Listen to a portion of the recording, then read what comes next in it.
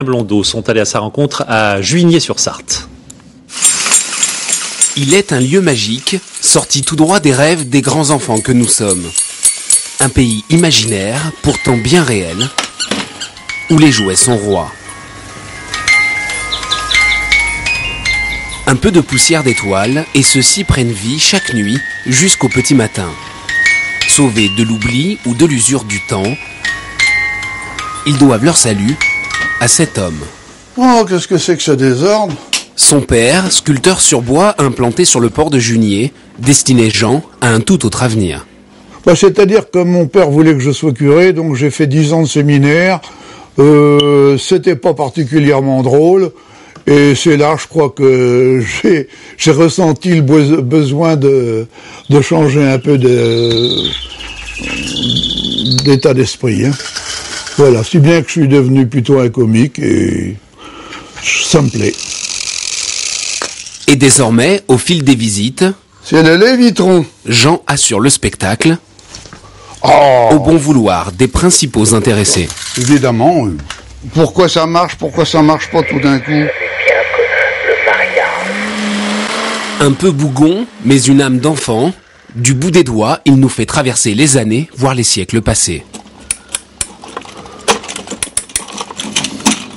Loin, très loin des consoles vidéo et du tout électronique, ici, le bois, le fer, le carton suffisent à l'émerveillement. Ouvert depuis 1994, l'amusant musée ne cesse chaque jour de recevoir de nouveaux pensionnaires. J'en ai dix mille, euh, ils sont tous insolites. Mais euh, chacun a son, son, petit, son petit rien de rien, quoi, euh, qui est marrant. Tout de- dès qu'il y avait quelque chose de drôle, euh, je prenais. C'est une cible pour euh, pistolet à flèche. Ça ouvrait la fenêtre à la mère Michel. Dans cette cible-là, ça ouvrait la marmite au père Lustucru. Ça mettait en marche la musique de la mère Michel qui a perdu son chat. Thérèse, quant à elle, a retrouvé une vache qui a besoin d'être réparée. La vache, elle fait plus de lait. Aujourd'hui encore, elle s'étonne de l'obsession de son mari. On était à Paris, il y avait une pile de, de jouets, les boxeurs là, et il achetait ça, mais je me disais ça va servir à rien. Et puis maintenant, euh, c'est un des jouets préférés qui fait marcher devant les petits enfants.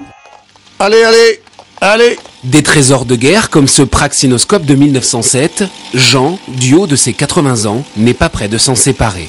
Le meilleur moyen de, de ne pas retomber en enfance, c'est d'y rester. Et je crois que j'y suis resté. Et ses protégés, quant à eux, continueront à faire de la résistance. Vous avez pas reconnu la Marseillaise Il y a même la sorcière qui en rigole. Jean et son musée